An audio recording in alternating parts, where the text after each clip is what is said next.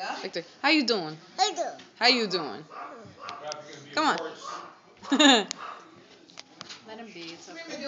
My phone. Mate, Melissa, put him by the tree. Victor, how you doing? I do. How you doing? I Is his voice on there?